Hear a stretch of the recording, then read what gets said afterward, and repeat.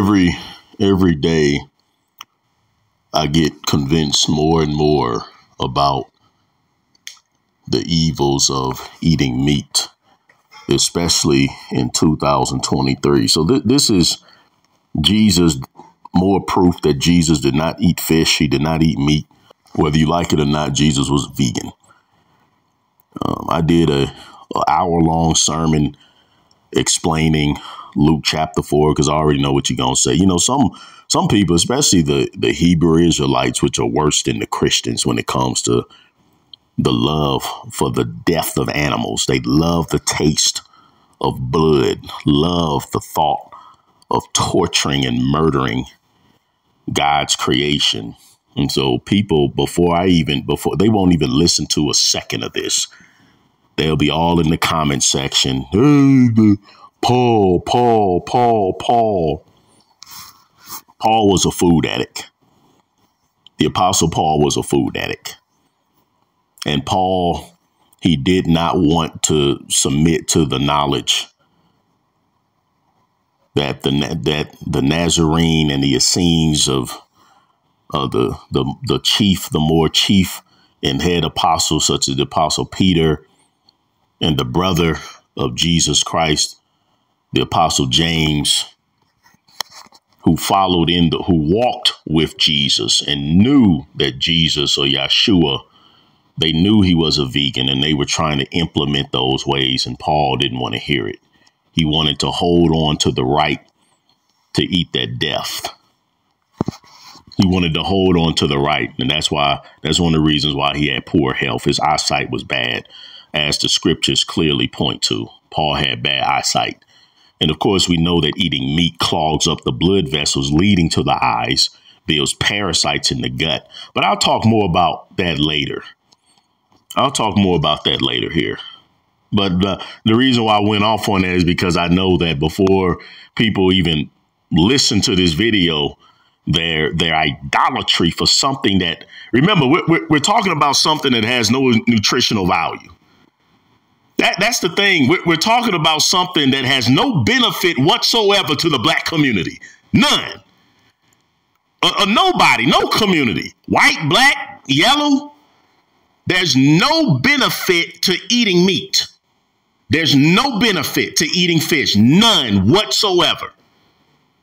The American Heart Association of the, is of the devil, and all of these other organizations that try to promote fish eating as something that's healthy is not healthy. You can get your omega 3s and your omega 6 from fruits, and then you can take a algae derived DHA EPA.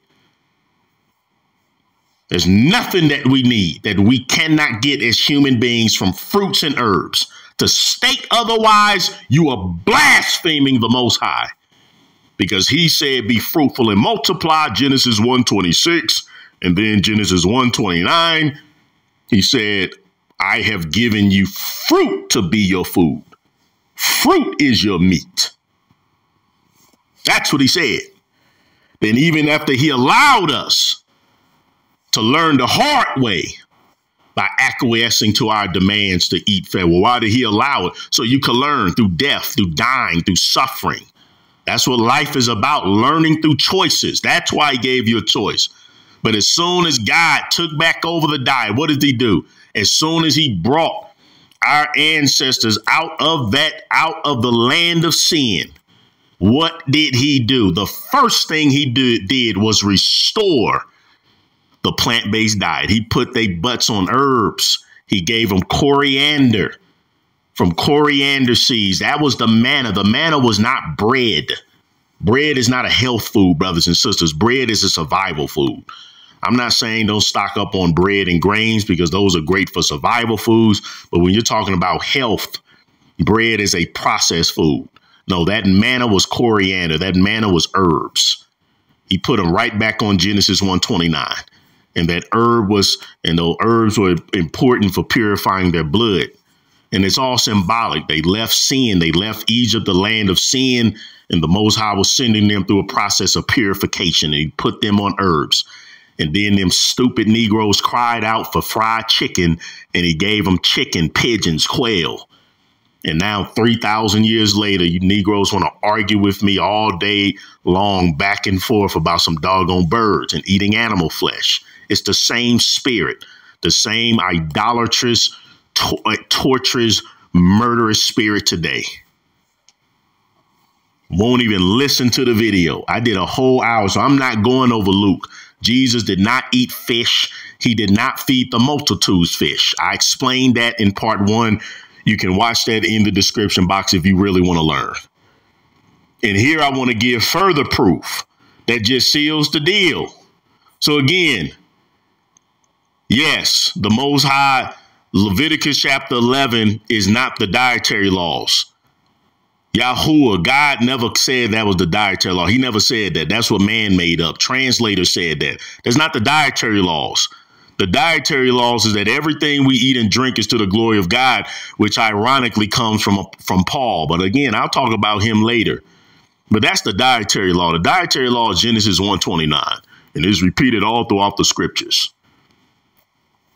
The doggone dietary law, that is an acquiescence of death.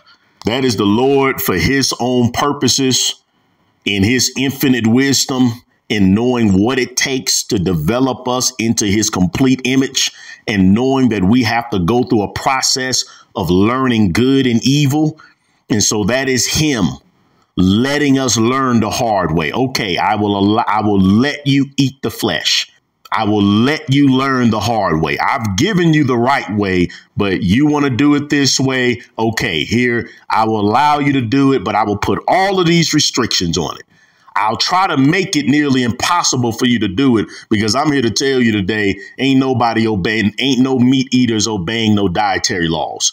You are not obeying the true dietary, the true instructions on how to kill yourself by eating meat. You're not even doing that right. You're not supposed to have a speck of blood left in that meat, according to the scriptures, not a speck of it. And even the way the animal is raised, there's a certain way. So 99% of you meat eaters, you're not obeying no so-called dietary laws anyway. And we know the Christian church ain't doing it because they eat pork and catfish and all the things that that he that he strictly said if you're going to do it, you still not supposed to do this. These are the select animals I'll let you experiment on your body with. But all of these you're not supposed to eat. We don't even do that. But then the so-called Hebrew Israelites and other brothers and sisters and other people who do try to do it, they're not doing it right. They're not doing it right. And even if you are doing it right, you're still wrong. Because we have so much more knowledge today than we had back then. That's why he allowed it. Stop asking me that. It's an acquiescence of death so you can learn Yes, the Lord will let us be stupid to teach us a lesson. Yes, He will. And that's an example in Scripture. Parents, we do the same thing. We teach our children, but sometimes we have to let them bump their heads so they can learn the hard way. Yes. So we as parents understand that. We give our children the optimal way but you have to leave some wiggle room for them to fall. You can't force children to do to, to not ever do wrong. You have to lead and guide them in the best way you can with the hope that they will return to the righteous way that you taught them. And so if we understand that as stupid parents, as puny, dumb human beings, how much more does the heavenly father understand that? And so he went on ahead and allowed us. He knows it's not healthy. He knew it would kill us. It dropped our lifespan. 967 years old, Methuselah, then King David, who's supposed to be a man after, uh, after God's own heart, he barely makes it to 80 years old. See what happened? We're supposed to learn and grow, but some of us don't want to learn and grow.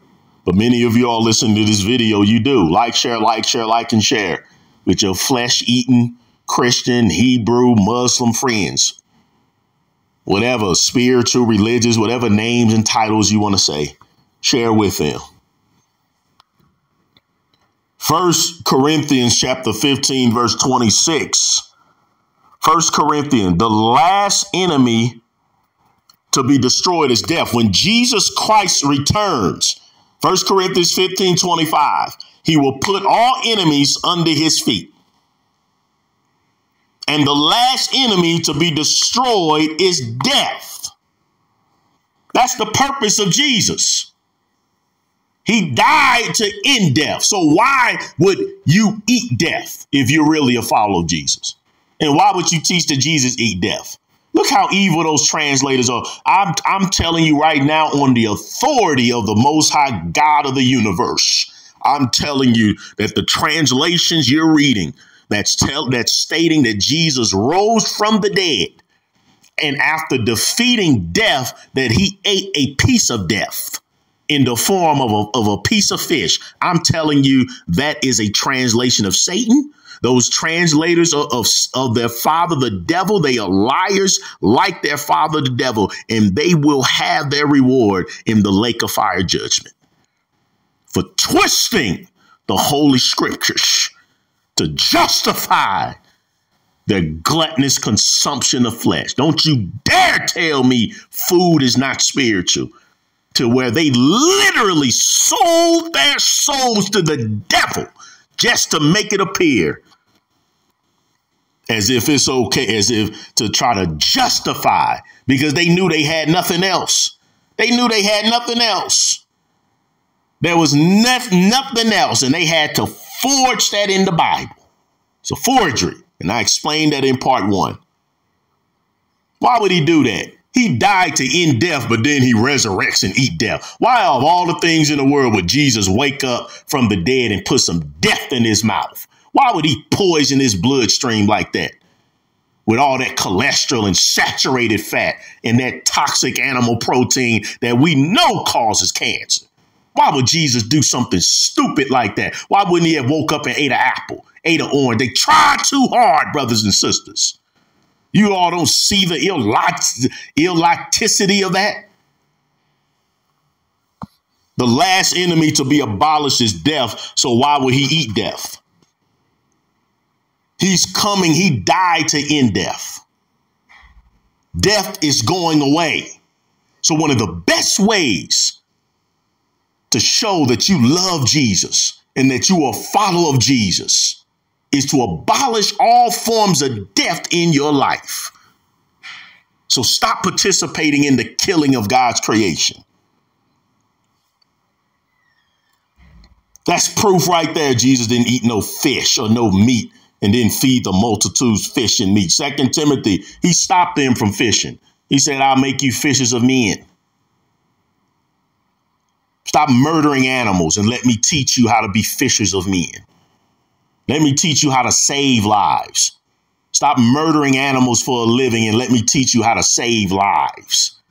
He took the most hardcore meat eaters and he turned them into vegans into plant based vegans. That's what he did. And they defended that way. Second Timothy chapter 1, verses 10. And now he has made it plain to us by the appearing of Christ Jesus, our Savior. He broke the power of death. This is Paul, right? This is Paul contradicting himself. On one hand, you're defending the right to eat death, to eat meat, but then you're writing these beautiful scriptures.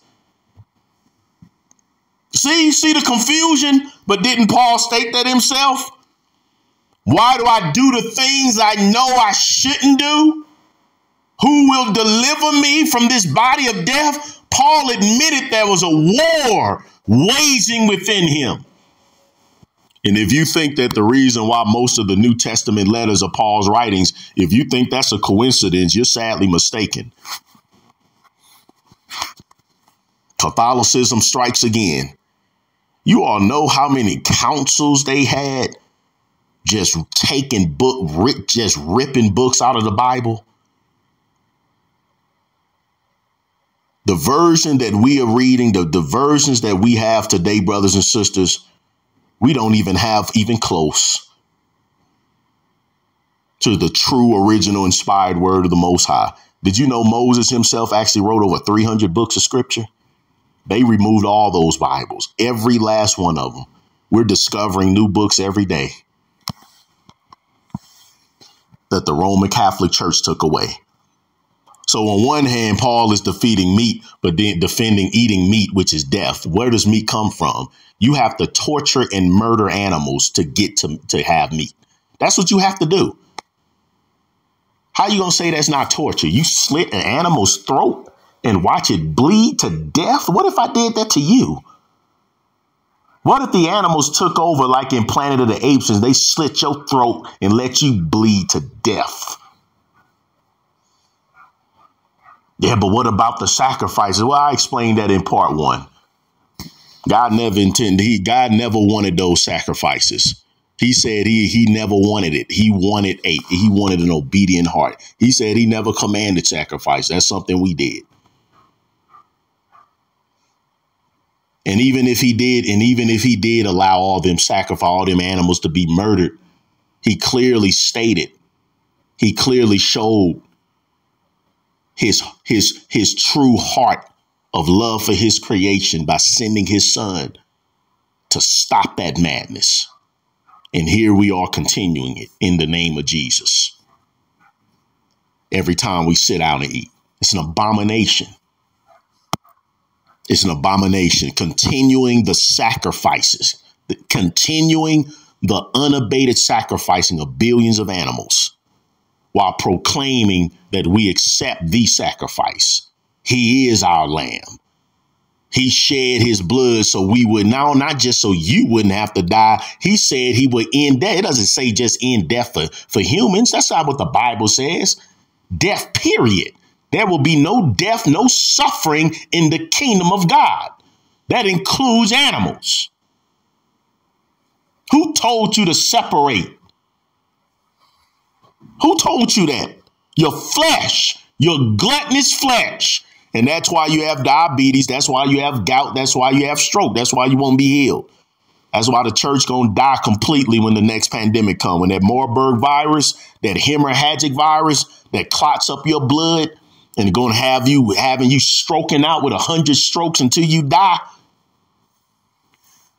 None of your prayers are gonna help you because you're under control of the belly guy.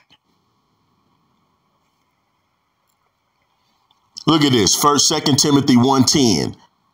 Jesus Christ, who has destroyed death and brought life and immortality to light through the gospel. Jesus came, according to Paul, to destroy death. So if he came to destroy death, why would we eat death? Why would we continue to support dying and death with what we eat, especially when there's no need to do so.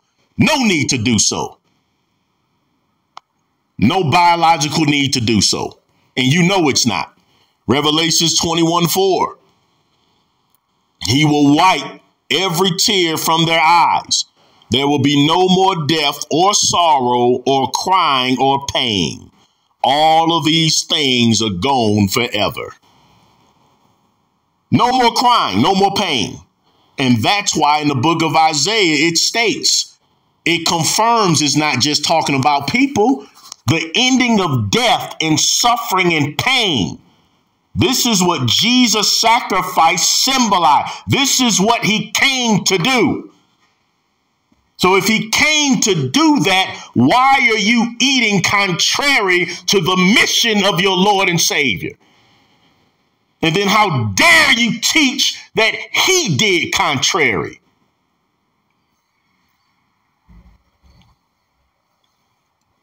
So Isaiah 10 confirms that these scriptures I'm going over is not just talking about people. There's nothing you can get past me. You cotton picking, food addicted Negro, this is my life. You can't get nothing past me. This is the gift that God has given me. I am the minister of wellness the only Christian minister on the face of this earth at this time with a specific mission to prove you cannot eat fruits if you're infested with parasites. Those demons called parasites will sabotage your goals to be healthy. So, the Minister of Wellness Ministries, we are affiliated with Zuma Nutrition. I have taken their parasite detox package with great success, and I know it will help you relieve vicious cravings so you can eat the medicine foods of God without it feeling like it's torture.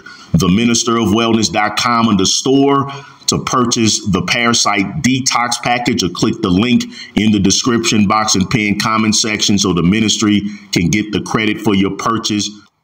So there's no scripture you can get past me. You don't have no arguments against this. All you have is emotional mumbo jumbo. Exposing the slave theology of the black church concerning health and nutrition. I go, I talk extensively about the letters of Paul. I already know all the scriptures you're going to say. I used to use them. God knew what he was doing when he called me to be the minister of wellness. God made sure he knew what he was doing. God is smarter than you, fool. He knew what he was doing. He picked a man that was raised by the most one of the most gluttonous a, a pastor who used to glorify in his gluttony. My dad glorified in his gluttony. The late great pastor Eddie Jordan, may he rest in peace, and I love him very much, and I still miss him to this day. But my father was legendary for his gluttony. Legendary. Oh my God, my father was legendary.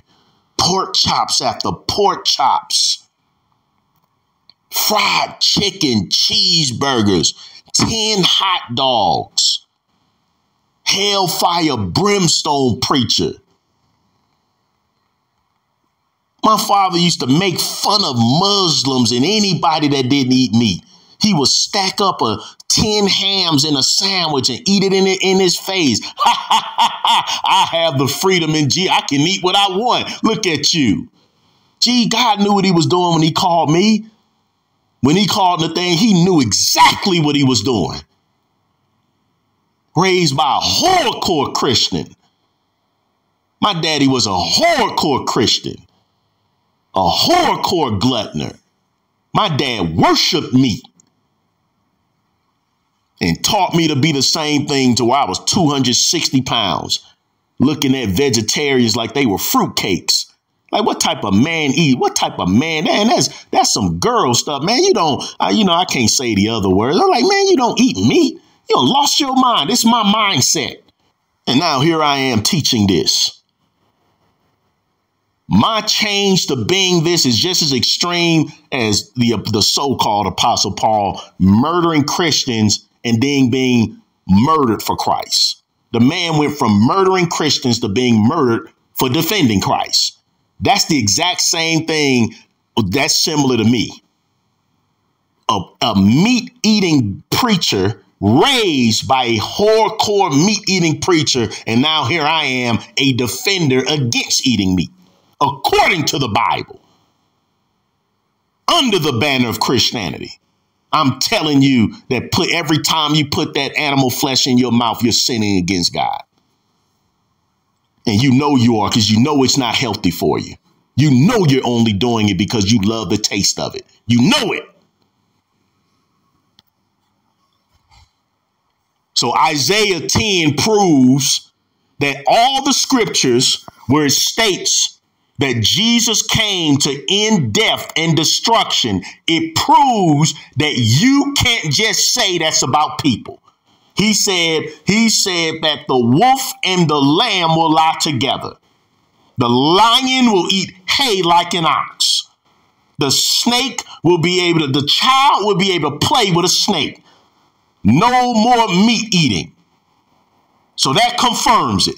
You can't separate animals from humans. The sacrifice of our Lord and Savior is for all of his creation. Isaiah 25 and 8.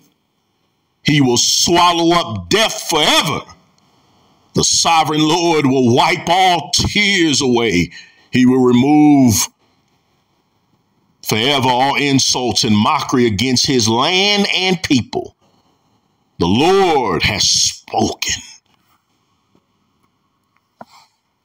Thank you, Yeshua. It's all of God's creation. That proves right there, Jesus. Jesus didn't eat no fish, didn't feed no fish, eat no animals, or persecute no animals. You need to get the gospel of the Nazarene. Start there. And then there's many other writings that the satanic Catholic Church stripped out of our Bibles and out of our scriptures. But Paul said, Paul said, Paul said, Minister Paul said. Paul, the Most High God for those who have an ear to hear, he made sure that Paul contradicted himself on the issue of meat. And he made sure that he made sure that Paul contradicted for those who would have the ear to see. So while justifying meat eating in these scriptures in 1 Corinthians 15, 26 and 2 Timothy 1:10, we just read where Paul stated himself, Jesus came to end all death and all suffering.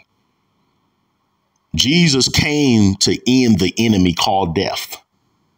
So then, Paul, why would you ever? Why didn't you just listen to Brother James and Brother Peter when they were trying to teach you that the that the righteous way of eating is to not participate in the murdering of God's creation, food at food addiction. Then Paul, when he was trying to argue for your right to kill yourself with food, he stated in 1 Corinthians 10 31, he shot himself in the foot. He said, Listen, in the end, after we get done arguing, everything you eat, everything, and, and by the way, when Paul is arguing for eating meat, he's definitely not talking about what the Christian church is still doing. He's not talking about catfish. He's not talking about shrimp. Paul was defending your right to follow the meat eating instructions in the book of Leviticus. He's he's fighting for your right to do that. So that would mean that would mean you would have to be following those instructions. So that doesn't include your shrimp, your fried shrimp, your Chinese pork fried rice. It's not what Paul is talking about.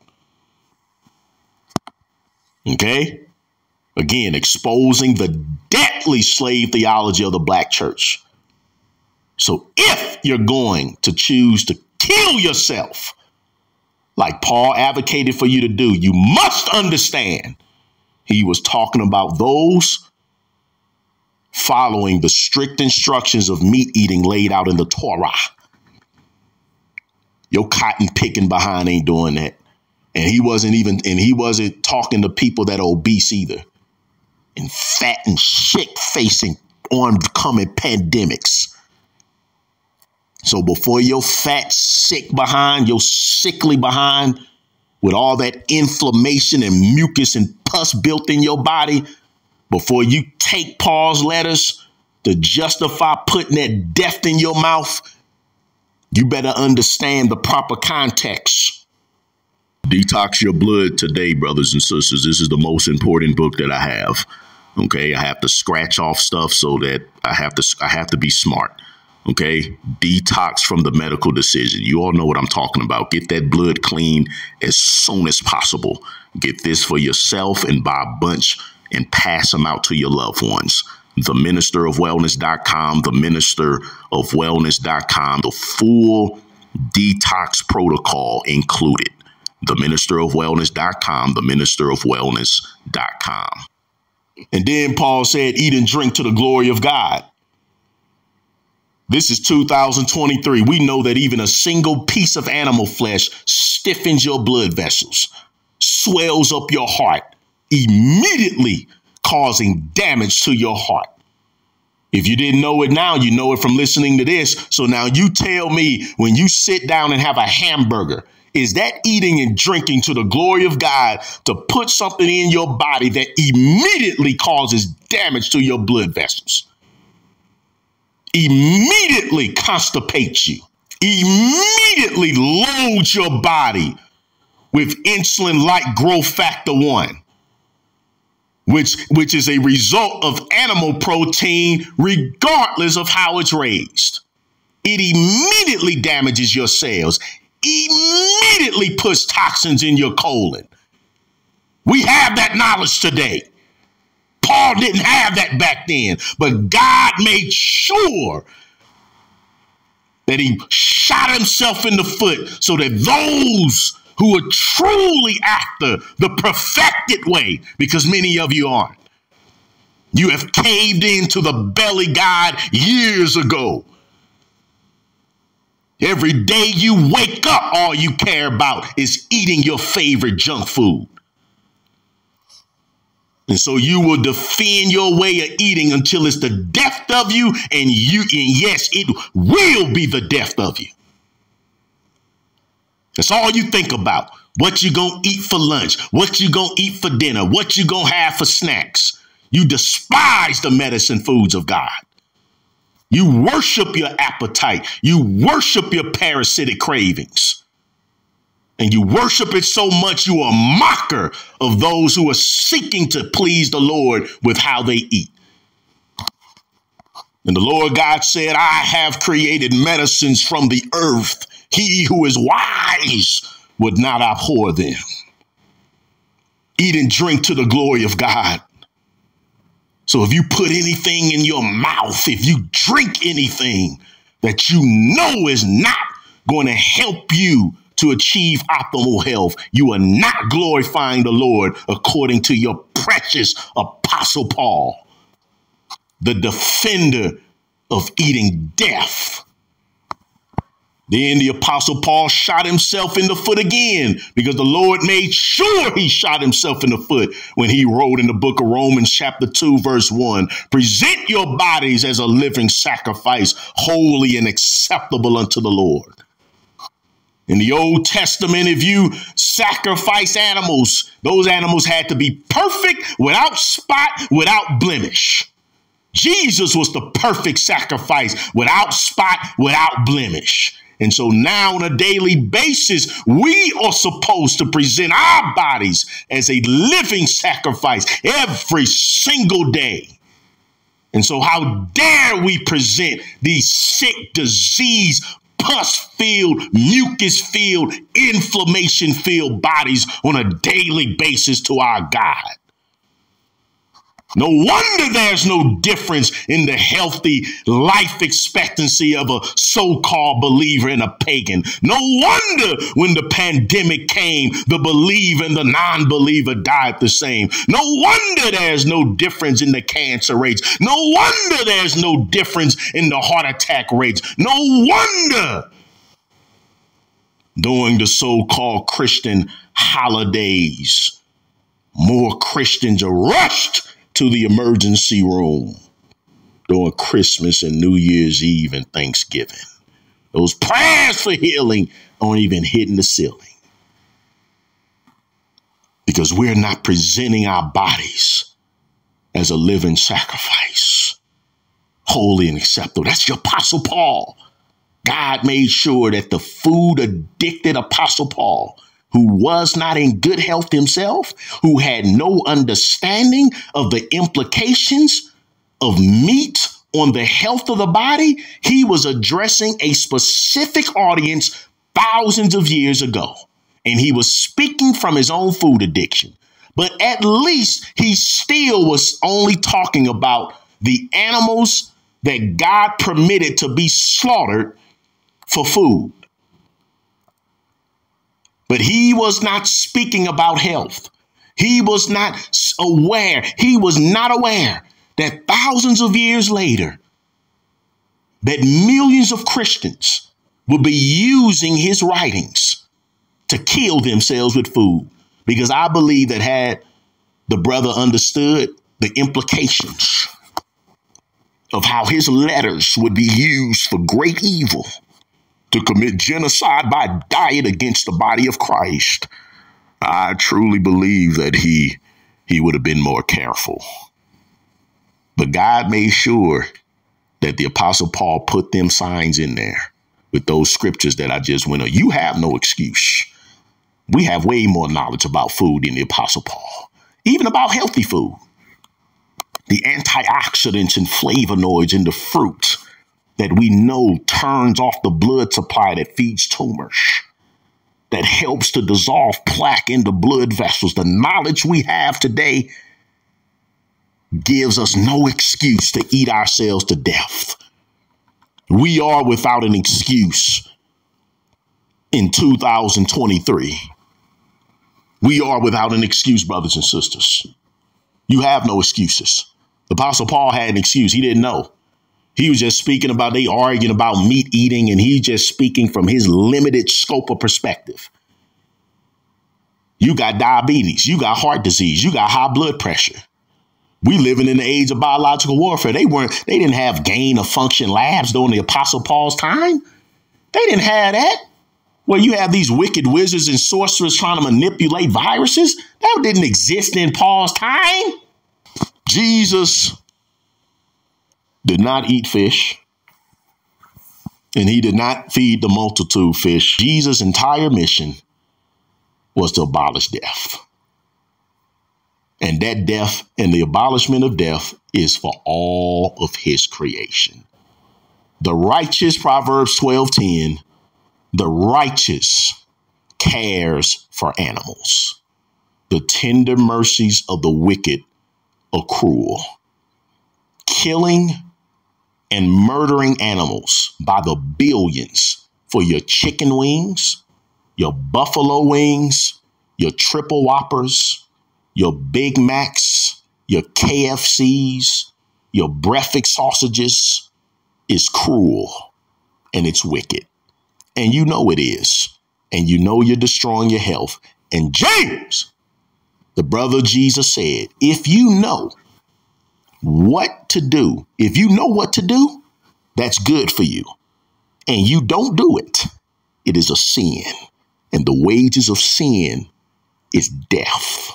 The most important package that I have for this time is the immune support emergency stash. So this is when, not if, when the next deadly pandemic comes and, and when we're locked back down, you don't want somebody coughing in your household and they don't have anything for their immune system. This is the time to get it. It'll be impossible to have these in stock when the masses are panicking. It's already priced at 50% off. You don't need a promo code. Get your stash for your immune system.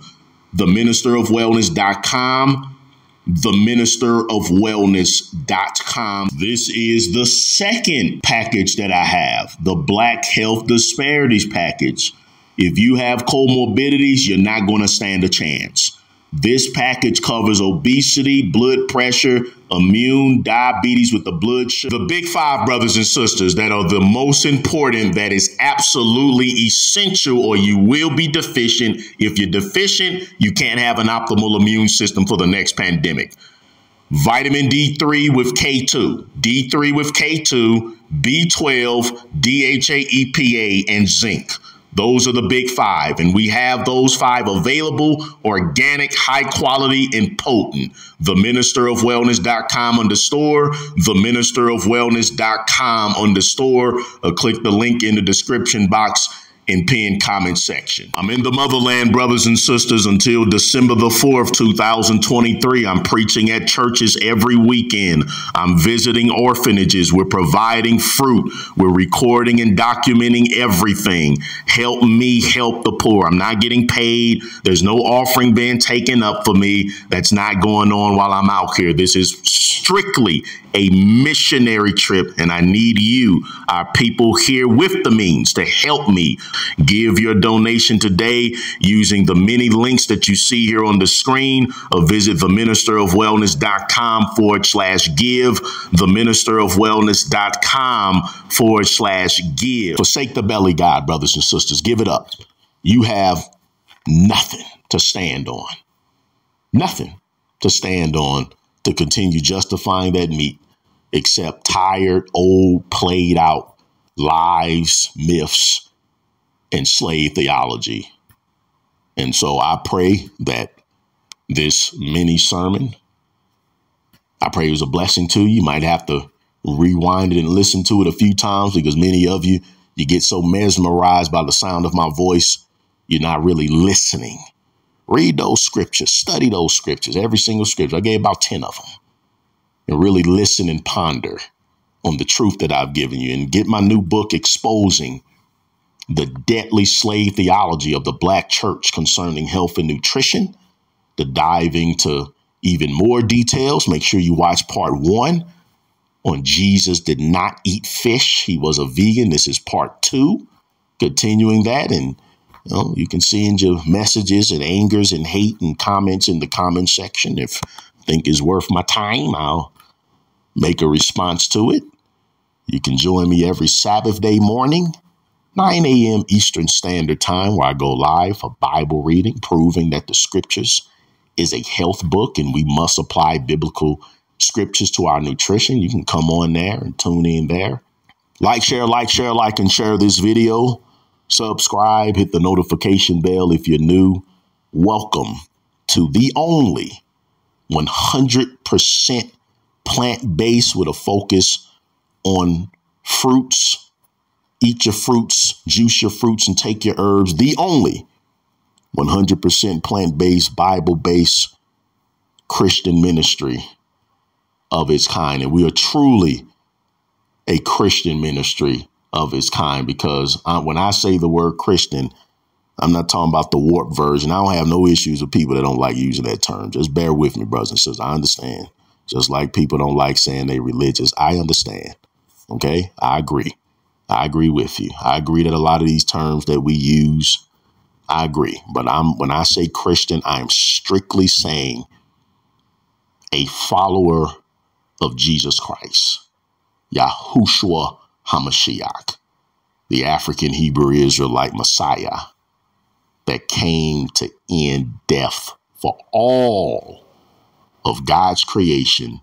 So let's be perfect as Yahushua HaMashiach was perfect, and let's eat the perfected way, drink the perfected way. Let's walk out the fulfillment of why our Messiah came and gave himself for us. Let's walk that out on a daily basis. And one of the best ways as believers that we can do that is eating the medicine foods of God and refusing to participate in the torture and murder of God's creation. And as you do that, and as you eat in a manner that produces justice and mercy for all. May the Most High God of our ancestors, Abraham, Isaac, and Jacob, Yahuwah the Elohim, may he bless you to live a long life in excellent health. It can, it will be yours.